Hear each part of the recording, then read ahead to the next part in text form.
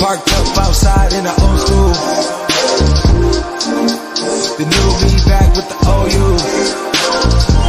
The dog always finds his way back home and it's so true.